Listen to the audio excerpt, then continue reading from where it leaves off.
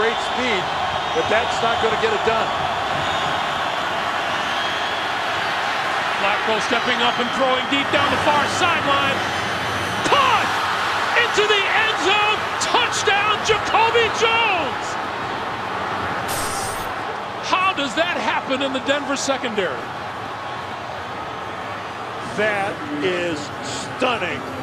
That with a three-man rush and dropping eight guys into coverage, that the Denver Broncos could misplay this to this point. Only a three-man rush. Flacco steps up and unloads a deep ball. And again, I don't understand. Tony Carter has got the short coverage. How do you let the guys get deep? Rahim Moore, number 26, he's late coming. It's just amazing. Amazing.